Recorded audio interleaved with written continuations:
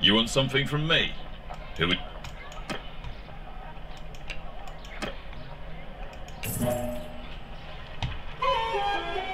So...